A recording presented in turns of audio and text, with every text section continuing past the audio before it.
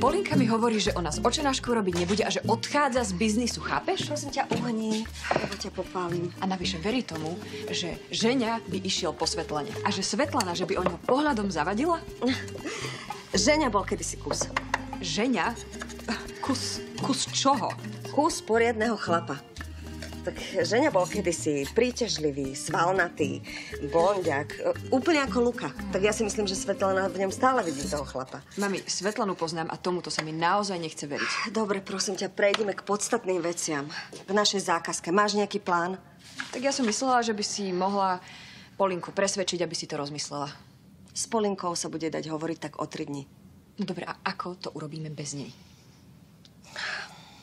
Tak neviem, máš mňa alebo Svetlanu. No, Svetlana je na pečenie ľavá. Dobre, ale inú lepšiu nemáme, tak jej prosím ťa zavolaj. Zavolaj jej a švíhaj, dobre? E, Ja zoženiem Ivanku a Lidušku. Nech nám pomôžu. No poďme rýchlo, nemáme čas.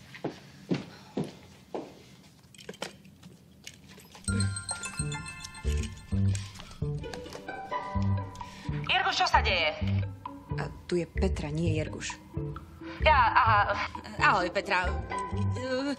Počuj, teraz s tebou naozaj nemôžem rozprávať. Svetlana, bude to iba sekunda, je to naozaj dôležité.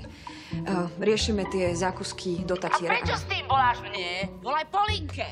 S Polinkou som hovorila a povedala, že nemôže. Bohužiaľ. Ani ja nemôžem.